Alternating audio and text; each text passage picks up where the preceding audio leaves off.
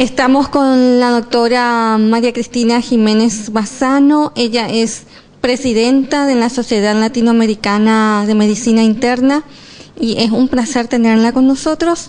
Vamos a hablar del Día Mundial de la Salud que se celebra el 7 de abril. Este año el lema, el tema principal es la hipertensión ¿Por qué, doctora? Muchísimas gracias por la invitación y por permitirme la oportunidad de hablar de un tema que es tan importante como es la hipertensión arterial.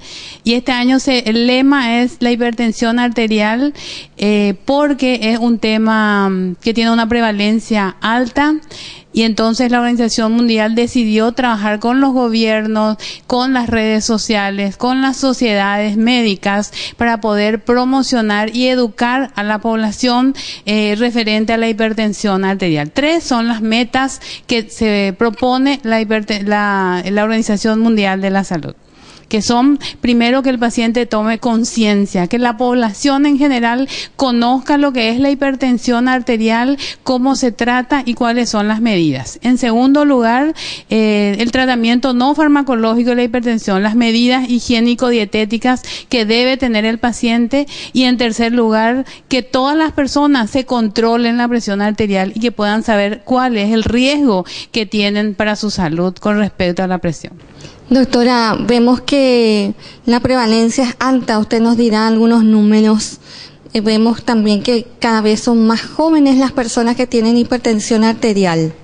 Sí, la prevalencia a nivel mundial es más del 30% de la población es hipertensa. Uno de cada tres personas no sabe que tiene hipertensión y uno de cada tres personas no tiene un tratamiento adecuado. En el Paraguay, en el año 2011, la encuesta de factores de riesgo del Ministerio de Salud eh, arroja que la población paraguaya tiene una prevalencia de más del 40% de hipertensión. Casi 46% es la prevalencia de la hipertensión arterial en el Paraguay. O sea que tenemos que estar alertas y tomar las medidas pertinentes para evitar las consecuencias que acarrea ser hipertenso.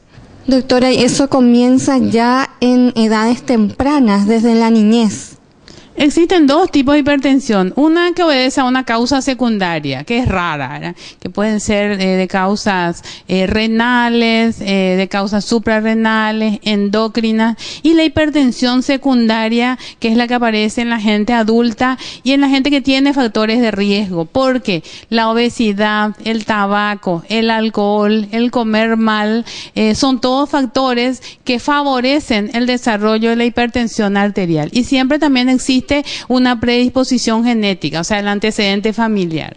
Entonces se habla de factores de riesgo que uno puede cambiar y factores que uno no puede cambiar, ¿verdad? Lo que no pueden cambiar son los antecedentes eh, genéticos, los antecedentes familiares eh, y lo que podemos cambiar son todo lo demás, la obesidad, la, diabetes, la, el colesterol y el triglicérido alto, eh, el tabaco, el consumo de cigarrillo y el sedentarismo. ¿Por qué afecta más a países de ingresos medios y bajos?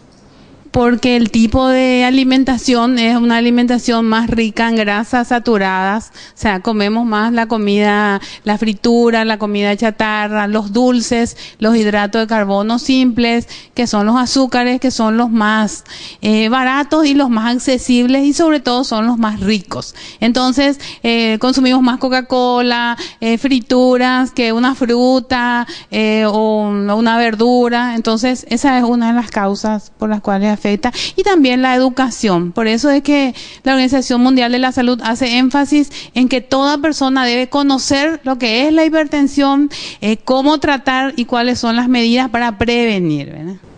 ¿Cómo inciden los sistemas de salud en estos temas, doctora?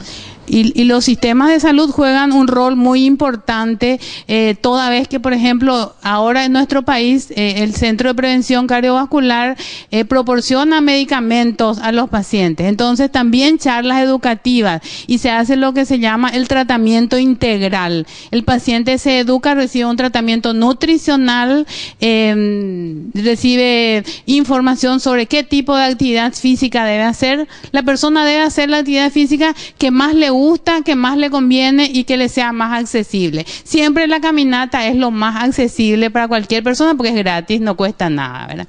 Y entonces, eh, si un sistema de salud como si está bien organizado, entonces eh, puede disminuir el riesgo con la educación, ¿verdad?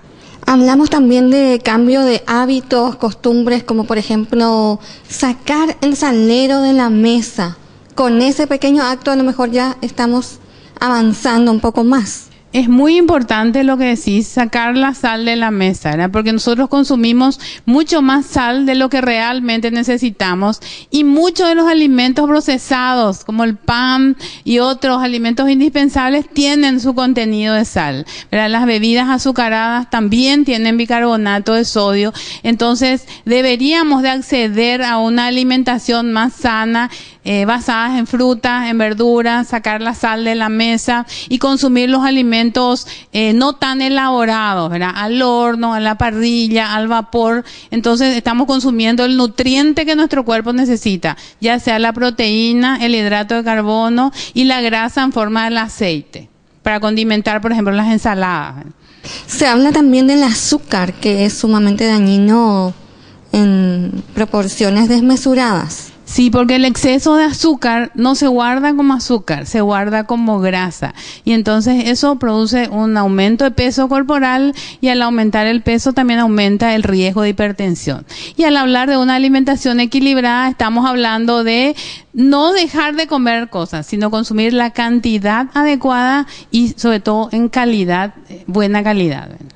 Para esas personas que, por ejemplo, tienen vicios, de repente fuman o toman alcohol, ¿qué se puede hacer? ¿Cómo cambiar de a poco esos malos hábitos? Bueno, el tabaco es el principal factor de riesgo de enfermedad cardiovascular, ¿verdad? Porque afecta al endotelio de la, a la pared de las arterias. ¿verdad? Y entonces, el, la principal causa de la enfermedad cardiovascular es el tabaquismo, por lo cual eh, nosotros desde todas las sociedades luchamos contra el tabaquismo y queremos una ley que prohíba que se fume en los espacios públicos porque es el principal factor. Entonces, eso solamente con la concienciación y la educación podemos lograr. Lo mismo que el alcohol, el exceso de alcohol lleva a, la formación del hígado graso, eh, aparte de dañar eh, al hígado y llevar a la cirrosis, es también eh, tiene muchas calorías y favorece el exceso de peso